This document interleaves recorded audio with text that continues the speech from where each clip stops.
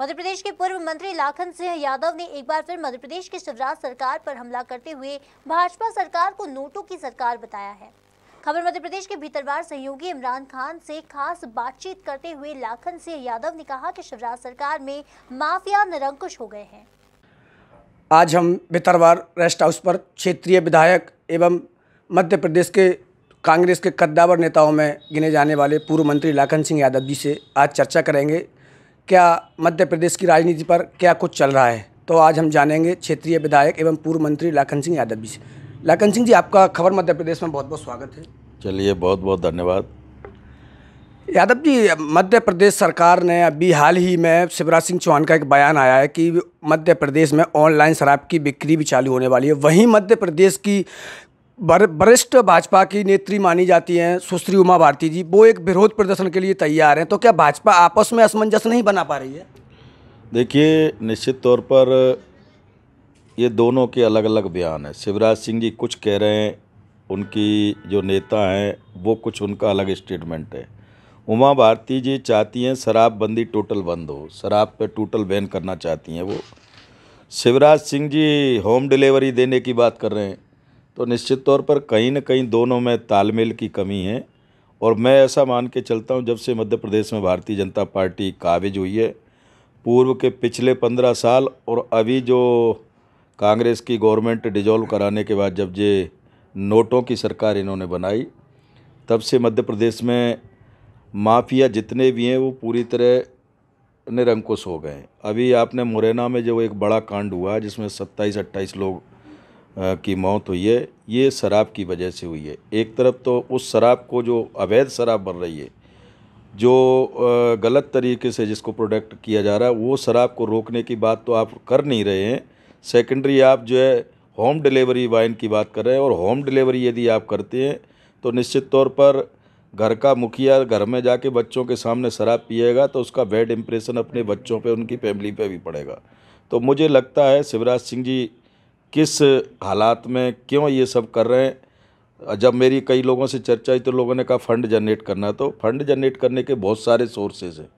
मुझे लगता है ये वाइन की जगह और बहुत सारे सोर्सों से फ़ंड जनरेट किया जा सकता है गवर्नमेंट को चलाने के लिए।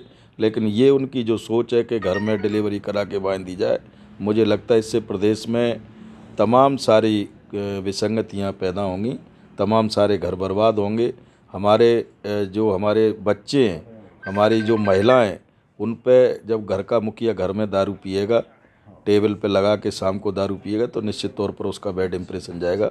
मुझे लगता है शिवराज सिंह जी को अपना ये वक्तव्य जो उनकी पॉलिसी है, उसको वापस लेना चाहिए।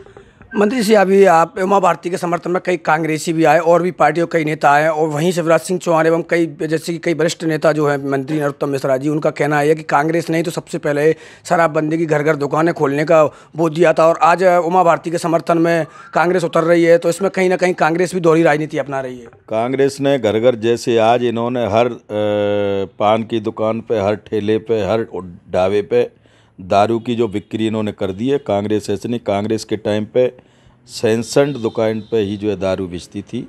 आज इन्होंने बिल्कुल कॉर्नरों पे, ठेलों पे, हर जगह ढाबों पे दारू बिक्री का काम किया है। ये कांग्रेस के समय नहीं था, ये भारतीय जनता पार्टी ने किया है और आप लोग खुद महसूस कर रहे होंगे, आप लोग खुद देख रहे होंगे कि असल सच्चाई क्या है। यादव जी, दूसरी बात मैं करूँ, जैसे कि पूरे भारत में अभी कृषि कानून, तीन जो मोदी सरकार द्वारा तीन काले कानून जो लाए गए हैं, उसको लेकर आज सेवेंटी एटवा दिन है और लगातार किसान वहाँ टिके हुए हैं। उसके बीच में एक इतना बड़ा हादसा भी छब्बीस जनवरी को हुआ था, वो कोई, अब कैसे हुआ था, क्या हुआ था, ये तो किसान जाने, वो जाने, उसके बाद भी सरकार कोई सुनने को तैयार नहीं है और आप कांग्रेस की पूरी टीम भी उसके समर्थन में, कांग्रेस पूरे समर्थन में आ गई है तो आखिर क्या है, क्यों नहीं मान रही सरकार? मुद्दों को किसानों देखिए, कांग्रेस शुरू से ही किसानों के साथ हमेशा खड़ी रही है, चूँकि जब ये नरेंद्र मोदी की जी के द्वारा जो तीन काले कानून किसानों के लिए लेके आए थे, उस समय पूरे देश के किसानों ने इनका विरोध किया था। और चूँकि कांग्रेस हमेशा किसानों के साथ रही है तो किसानों के लिए जब हम लोग भी खड़े हुए तो उस समय किसानों के देश के जितने भी संगठन थे, सारे संगठनों की एक सोच थी कि इसमें हम पॉलिटिकल इस आंदोलन को नहीं देना चाहते, पॉलिटिकल रूप नहीं देना चाहते तो उन्होंने सारे पॉलिटिकल पार्टियों को ब्रेक कर दिया था। उस समय हम बैक फ्रंट पे किसानों का सहयोग करते रहे, लेकिन आज अठहत्तर अस्सी दिन होने जा रहे हैं। इस देश के प्राइम मिनिस्टर ऑफ़ इंडिया को दुनिया में जाने के लिए, मन की बात करने के लिए समय है, लेकिन लगा हुआ दिल्ली के बॉर्डर पर हमारा किसान पड़ा हुआ, जहाँ अभी तक सौ से ऊपर लोगों की मौत हो गई, उस आंदोलन में शहीद हो गए, उनसे बात करने का एक टाइम नहीं मिला है। ये चूँकि ये नरेंद्र मोदी की भी अपनी एक मजबूरी है। मजबूरी उनकी ये है कि वो पूर्व में हमारे देश के बड़े बड़े जो उद्योगपति हैं, उनके साथ कुछ कमिटमेंट कर चुके हैं और वो कमिटमेंट का ही कारण है कि अगर उस समय उन्होंने मोदी जी के चुनाव में जो फंड का काम किया फंड जनरेट का काम किया तो आज उनकी अपनी मजबूरी है।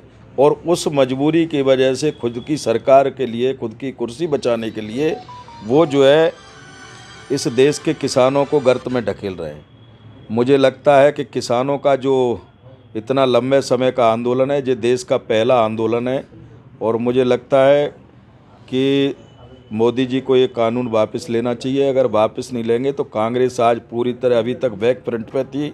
अब हम सब लोग फ्रंट पे आकर किसानों के साथ खड़े हैं। और मुझे लगता है आगे आने वाले समय में किसान जिस तरह से उग्र रूप ले रहा है, अभी तक उन्होंने पूरी तरह डिसिप्लिन होके और काम किया था। 26 जनवरी को जो घटना घटी, जो झंडा फहराने वाली बात है, वो निश्चित तौर पर भारतीय जनता पार्टी के कुछ षड्यंत्रकारी लोगों ने इस तरह की हरकत की। किसान इतने सत्तर, पचहत्तर, अठहत्तर दिन से बॉर्डर पे पड़े हुए हैं। बड़े बड़े उन्होंने रैलियाँ की हैं, लेकिन आज तक कहीं भी कोई भी ऐसी एक्टिविटीज़ उन्होंने नहीं की, जिससे आतंक जैसा माहौल बने। तो ये भारतीय जनता पार्टी की सोची समझी चाल थी किसानों को बदनाम करने के लिए, अन्य पार्टियाँ जो समर्थन कर रही हैं, उनको बदनाम करने के लिए ये किया था। यादव जी, आगामी 11 तारीख को आपके पीसीसी अध्यक्ष की भोपाल में मीटिंग है, नगर निगम, नगरीय चुनाव को लेकर। तो क्या रणनीति है आपकी नगरीय निकाय चुनाव को लेकर? किस तरह की तैयारी कांग्रेस कर रही है? किस तरह के कैंडिडेटों को मध्य प्रदेश में उतारा जाएगा? देखिए, चुनाव में हर पार्टी हमेशा अपने मज़बूत कैंडिडेट को उतारने की कोशिश करती है और सोचती है कि हमारा कैंडिडेट जीते। हम लोग भी इस बार प्रयास कर रहे हैं कि हम लोग जो अभी बाई इलेक्शन था, उसमें हमारी कुछ कमियाँ रहीं, उन कमियों को हम लोग सुधारेंगे और इस बार हमारे कॉरपोरेशन के चुनाव हों, चाहे पंचायत के चुनाव हों, उन चुनावों में हमारा प्रयास है, हमारे प्रदेश अध्यक्ष आदरणीय कमलनाथ जी का प्यार है प्रयास है कि इस बार हम लोग बेहतर से बेहतर कैंडिडेट उतारें, जो विनिंग कैंडिडेट हैं वो उनको हम लड़ाएँ और अच्छा प्रदर्शन हम कर पाएँ, चाहे कॉरपोरेशन हो, चाहे नगर पंचायत पंचायत हो, इनमें हमारा बेहतर प्रदर्शन होगा। ऐसा हमें भरोसा है। क्या मुद्दे क्या रहेंगे? आपके क्या जनता के बीच में क्या मुद्दों क्योंकि अभी तक मुद्दों के ऊपर कोई चुनाव नहीं हुआ है। केवल एक इससे पहले उपचुनाव विधानसभा चुनाव जो हुआ था वो केवल दल विरोधी और उस पर राजनीति एवं पैसे खरीद फरोख पर हुआ था। मुद्दे क्या रहेंगे? क्योंकि अभी जो टाइम पे इससे पहले चुनाव जो हुआ उसमें कोई मुद्दे नहीं आए जनता के लिए। और क्या विकास के मुद्दे क्या रहेंगे? और जनता के लिए क्या मुद्दे रहेंगे? देखिए पिछले पंद्रह साल का भारतीय जनता पार्टी का जो कार्यकाल था उसमें पूरे मध्य प्रदेश का किसान बेहाल रहा। उसका परिणाम ये हुआ कि 2018 में उन्हीं मध्य प्रदेश के आम आवाम ने यहाँ कांग्रेस की सरकार बनाई और कांग्रेस की सरकार चौदह महीना रही और उसी पीरियड में भारतीय जनता पार्टी के शीर्ष नेतृत्व ने नोटों के दम पर हमारे कुछ विधायकों के साथ खरीद फरोख की। खरीद फरोख करने के बाद हमारी गवर्नमेंट को डिजोल्व किया। निश्चित तौर पर आज पूरी तरह किसान फुर बेहाल है। अभी हम लोगों की जब सरकार पंद्रह महीने हुई थी, तब हमने हमारी कन्याओं के ब्याह के लिए इक्यावन हज़ार रुपये की इन्होंने घटा के वही कर दिए। तो मुद्दे हमारे जो अठारह में हमने जो मुद्दे लेके चले थे, उनको हम पूरी तरह क्रियान्वित नहीं कर पाए थे, चूँकि चौदह महीने का हमें समय मिला था। चौदह महीने में भी काम करने का हमको मात्र ग्यारह, साढ़े ग्यारह महीने का टाइम मिला था। तो निश्चित तौर पर दो हज़ार अठारह वाले हमारे मुद्दे आएँगे। उसके बाद जो दो साल में कुछ ऐसी विसंगतियाँ हुई हैं। ऐसे कुछ नए मुद्दे आए, उनको भी इंक्लूड करेंगे, उनके आधार पर हम लोग चुनाव लड़ेंगे।